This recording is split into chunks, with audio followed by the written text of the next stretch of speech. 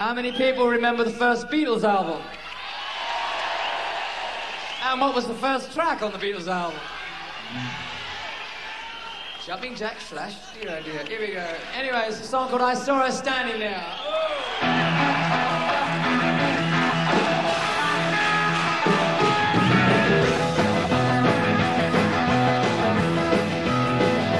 She was just 17.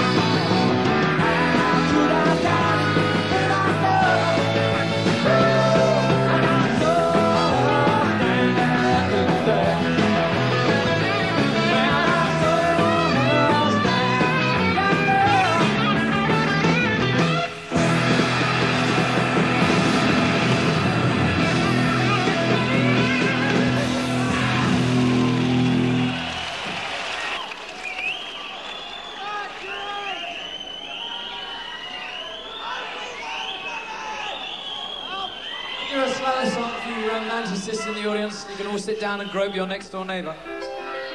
Should be interesting. Make sure they still haven't aren't eating their ice cream? Otherwise, you're getting a bit of a state. It's a song that uh, from Caribou didn't do very well over here, but never mind.